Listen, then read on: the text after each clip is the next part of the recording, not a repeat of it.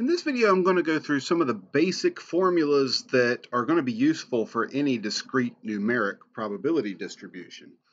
The first are just a couple of basic rules about all probability distributions, just reminding ourselves here that the probability of any event has to be somewhere between 0 and 1. So we can't have negative values, we can't have them over 1.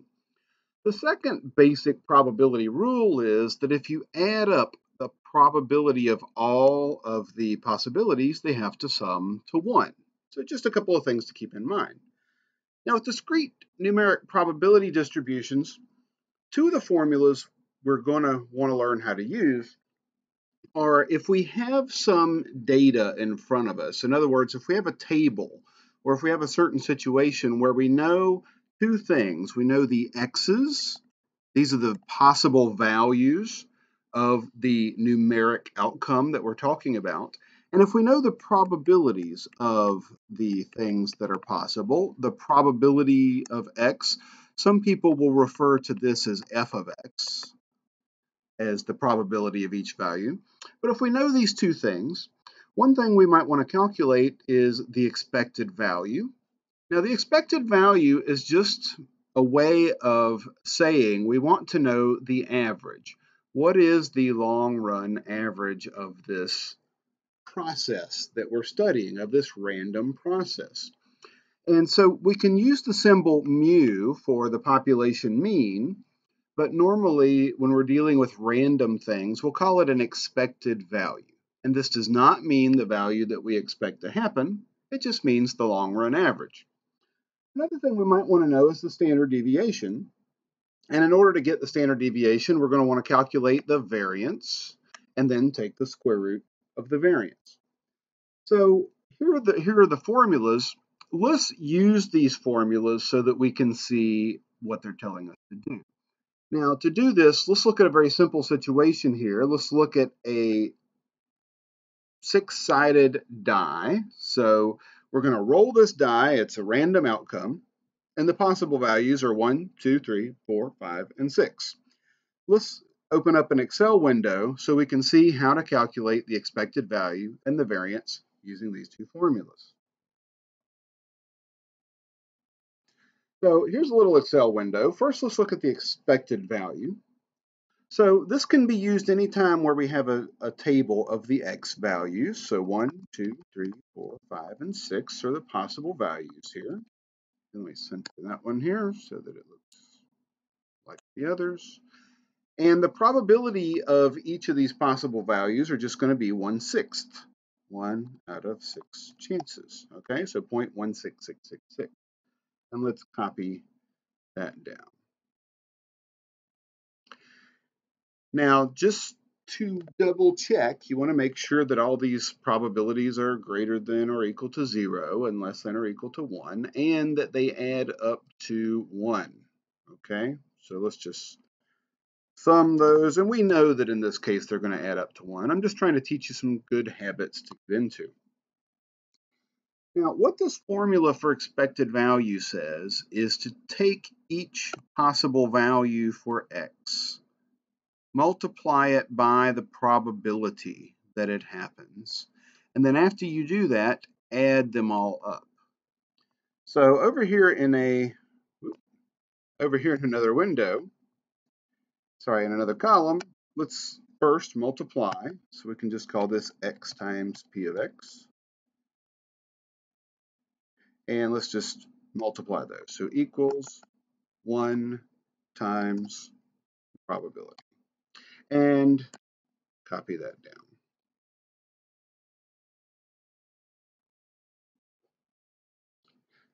So the next thing is we want to add all those up. So let's add all those up equals sum.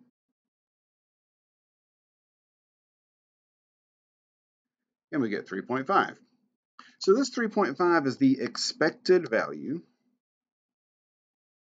which again just means it's the uh, long run average. Okay, now we can actually see what we're talking about, expected value. So it just means that if we were to roll a die and, and record all these numbers as we were rolling and rolling and rolling, and we were to average the values of all those rolls, we would expect the value to get closer and closer to three and a half after we've done this for a long time. Now, again, don't let the words fool you. In English, expected means this is what we expect to happen. But of course, this three and a half is ne never what we expect to happen when we roll a die. You just can't roll a three and a half, okay? Now, let's calculate the, let me move this down here. Let's calculate the variance. So let's move our variance formula over here where we can see what we're looking at, okay?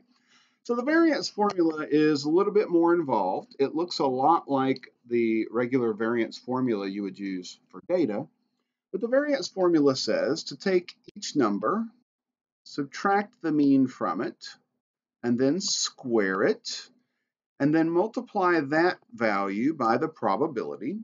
And after you're done doing that for all the numbers, add them all up. So let's do this. So in this cell over here, let's just go ahead and do everything in this first part. Let's take each number, subtract the mean from it, and square it. So in Excel, I'm going to say equals, parentheses. Let's take the number 1. Let's subtract the mean, which is 3 and a half. And let's square that. Raise it to the second power. Okay? And let's just copy that formula down for all the possibilities. Now, let's multiply that times the probability that that thing occurs. So equals x minus the mean squared times the probability over here, 0.1666667, and copy those down. And now, if we add all those up, that will give us the variance. So equals sum enter. So this is the variance of a six-sided die. Now what does the variance tell us? Well, nothing much is my interpretation of the variance. It just gives you an average squared deviation, which is hard to understand. What we want to do is take the square root of the variance.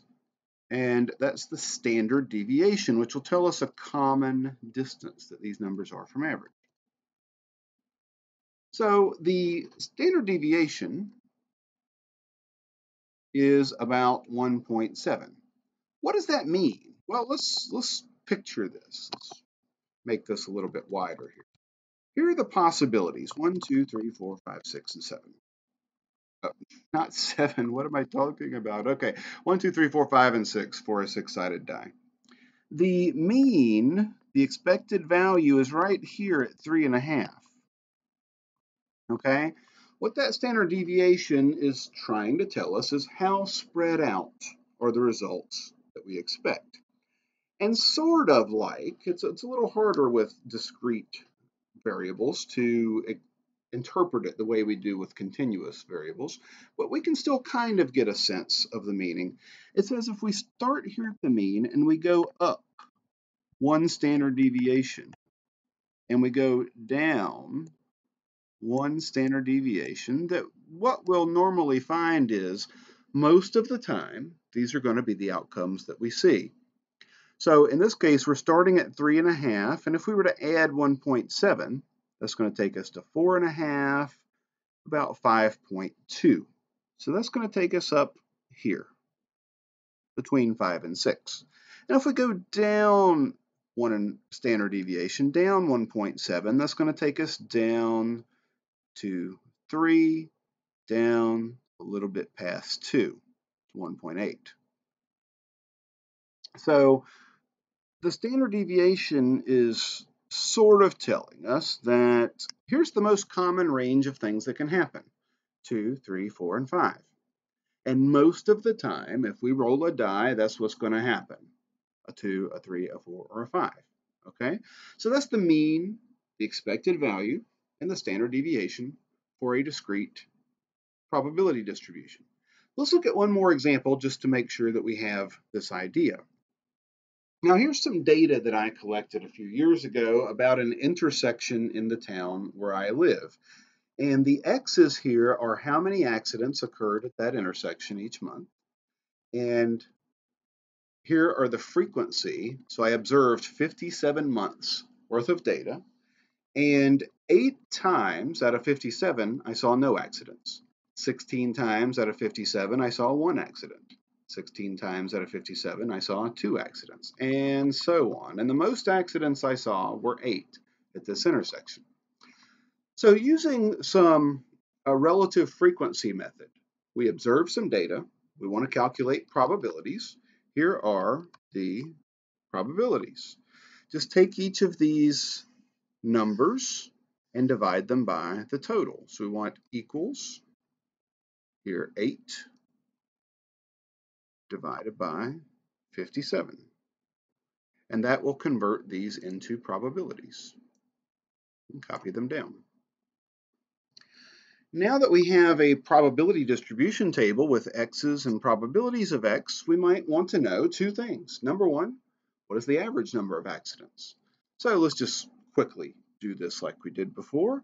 So we need to take, using our formula, move that over here. So looking at our formula again, we want to take each of the x values, multiply it times the probability, and then add all those things up. So over here, say equals 0 times the probability we see 0. And then we're going to copy that formula down. And then down here, we just want to add all those up, sum. And so this is telling us that at this intersection there are almost two accidents per month. Again, that's the mean or the expected value. So 1.98 accidents at this intersection per month on average in the long run. Now, if we wanted to know the variance or the standard deviation, here's our formula. and so again, we want to take each possible value, the x's, subtract off this mean, 1.982456, square that, and then multiply them times the probabilities that that would occur, and then add them all up. So over here, I'll do all that in one giant formula. So equals, parentheses, x minus the mean, and I'll just type that in to keep it easy, 1.98 two, four, five, six. Square that.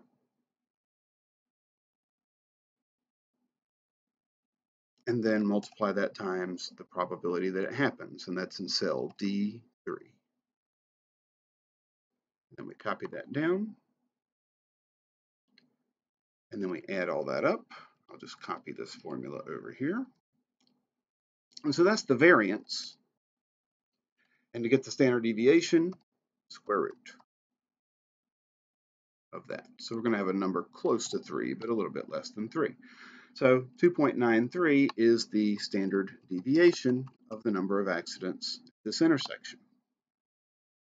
So again, the standard deviation here is just a common distance that the number of accidents we're going to observe is away from the mean.